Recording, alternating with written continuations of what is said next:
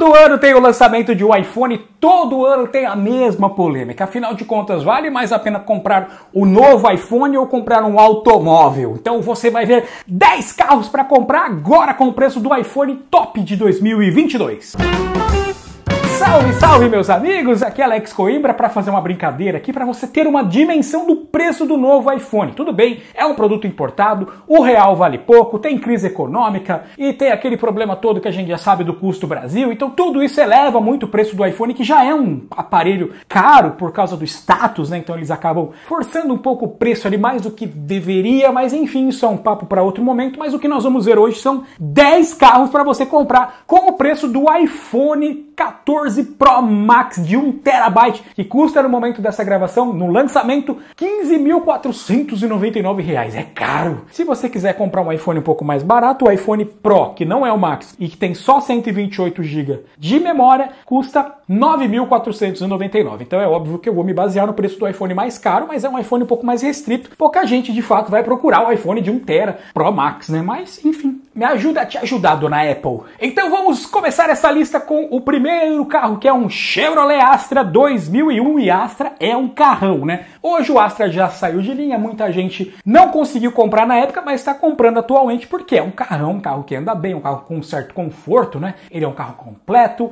é um carro que vale a pena, e se você fizer uma manutenção básica nele, ele vai durar anos e anos e anos e anos. Então por isso eu já abro essa lista com essa excelente opção, que é o Chevrolet Astra 2001. O segundo carro que eu trago aqui é um carro menor menorzinho, é um Ford Ka, o Ford que muita gente compra como primeiro carro. Esse Ka é de uma geração anterior, mas ele ainda é um carro atual. Você vê muitos desse pela rua, é um carro que vale a pena, tem uma manutenção barata, é uma manutenção simples, você acha peça em todo lugar e é um carro até que bonitinho, né? Muitas mulheres, inclusive, gostam desse carro, não só mulheres, mas em especial. E eu quero saber a sua opinião desses dois carros que eu já postei, qual você gostou mais? Você acha que vale a pena comprar um carro e ir diretamente falar com a pessoa? Pessoa pessoalmente ou você acha que é melhor comprar o iPhone e mandar mensagem no WhatsApp ou no iMessage, né? Porque você tem um iPhone, você tem que mandar mensagem no iMessage. Ninguém no Brasil usa iMessage. Eu nem sei falar iMessage. E vamos em frente, a lista continua. Vamos no terceiro carro então. Em terceiro lugar aqui na lista eu trago o Renault Clio 2011, 14.700 reais. O Clio também é um tanquinho de guerra, apesar de ser um Renault e muita gente fazer cara feia para carros franceses, mas existem carros e carros e o Clio é um carro confiável, sim. O carro número 4 que eu trago aqui é mais um francês, é um Peugeot 207, 13.900 reais. Eu não teria um 207, acho que a Peugeot vale a pena a partir do 208, 2008, 3008, 308, 408, enfim,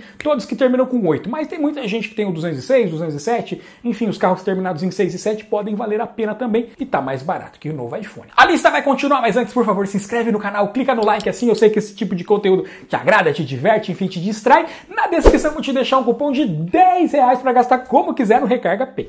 Em quinto lugar, um carro muito chique, é um carro dos sonhos das crianças que já viraram adultos, né? É um Chevrolet Vectra 1998, é o carro mais antigo dessa lista, que tá 14.900. Quando lançou o Vectra, eu olhava aquele carro na rua e pensava, meu Deus, como eu queria que meu pai tivesse um carro desse, mas nunca teve. Era um carro de rico, agora é um carro para qualquer pessoa comprar, mas não se esqueça que a manutenção acompanha o valor real do carro na época do lançamento. Então não é porque o carro tá barato hoje que a manutenção vai ser barata, então vai com calma. Sexto lugar, um carro para todo mundo é um Volkswagen Gol 2009, 15 mil reais. Você que está procurando um carro para trabalhar, um carro para sua família, um carro que vai te dar a certeza de que ele não vai te deixar na mão, é o Gol, é o carro que foi mais vendido do Brasil durante tantos anos e tá mais barato que o iPhone. Agora, se você quer um carro um pouco maior, tem o Ford Focus 2003 por 15 mil reais. Esse carro na época era um carro de luxo, né? Um Ford, é um carro um pouco chatinho de manter, mas é um Focus, é um carro com design atemporal, né? Ele já tem tantos anos, quase 20 anos do lançamento, e você olha pro design dele não parece ser tão antigo, né? É um carro a se considerar, mas a manutenção é tipo a do Vectra, é cara. Em oitavo lugar, uma lasanha daquelas para você afundar em dívidas é o Citroën C5. Já ouviu falar do C4, C4 Pala, C4 Lounge, C4 Cactus, enfim, tem C4 que é uma bomba aí para todo mundo, mas o C5 ainda tá acima, né? É um carro de porte grande, porém é um carro importado, ele tem o câmbio automático problemático da época da Citroën, então é um carro para você corajoso que quer fazer um projeto. Porque se for para comprar para sua família, fuja porque vai te dar uma dor de cabeça lascada, apesar que é um carrão. Vamos voltar para a realidade agora no nono carro que eu trago para você, um Volkswagen Polo do ano de 2000 por 9 mil reais. Esse tá baratinho, mas é um Volkswagen, é um carro teoricamente fácil de manter, você vai achar muitas peças em todo lugar, mas já é um carro bem rodadinho, portanto, presta atenção para não fazer uma coisa e depois se arrepender. Mas é um Volkswagen. Em último lugar, aquele carro mais racional da lista, talvez, um Fiat Palio 2006, 13.500 reais. O Palio é um carro inquebrável, praticamente, né? Você não precisa nem fazer manutenção, tem gente que não troca óleo, tem gente que não troca filtro, tem gente que roda 200, 300 mil quilômetros e o Palio vai e vai e vai e não deixa na mão. Então, para você trabalhar ou para você ter um carrinho para andar na cidade, ou se você não tem condição de ter um carro mais caro, mais possante, mas você quer levar sua família para fazer um passeio no zoológico de final de semana, esta é uma boa opção e esta lista chega ao fim então desta forma com carros para todos os gostos, desde os carros mais básicos e populares até carros entusiastas, lasanhas, carros que vão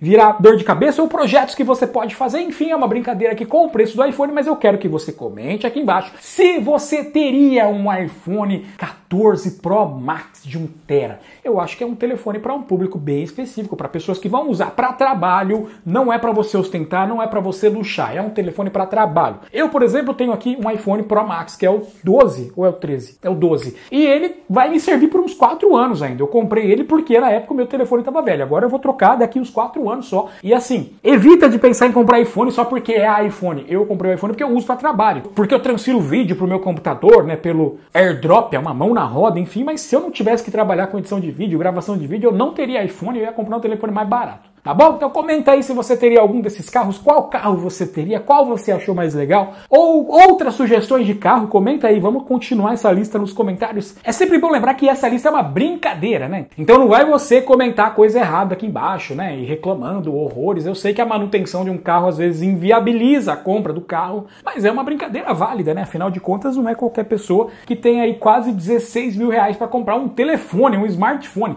Onde já se viu? Quem diria que o smartphone ia custar mais caro que um carro, e um carro bom, hein? Então, antes de você ficar bravo, respira, que respirar é de graça e deixa o seu comentário, curte o vídeo, vamos lá. Obrigado pela sua audiência, compartilhe esse vídeo com seus amigos. E como eu tenho feito durante toda essa semana um diário de bordo da nossa mudança, pois é, este cenário está sendo descontinuado. Esta semana são os últimos vídeos gravados aqui, não quer dizer que semana que vem já vai ter um cenário novo, né? Mas pode ser que sim certamente vai ser um lugar diferente. Eu tô procurando aqui a minha esposa, cadê? Onde você está, meu amor? Ela tá aqui, ela tá dando mamar pro nenenzinho. O que, que você tá achando da mudança? Eu tô muito ansiosa, tô muito eufórica, tô gostando, mas é muito cansativo, não recomendo. E se inscreva no canal Yasmin Pipo, lá eu também estou relatando um pouquinho aqui dos bastidores da nossa mudança, da nossa bagunça, e lá vocês conseguem ver a gente se ferrando um pouco. Agora eu tô indo nessa, volto no próximo vídeo com novos assuntos para vocês e tchau!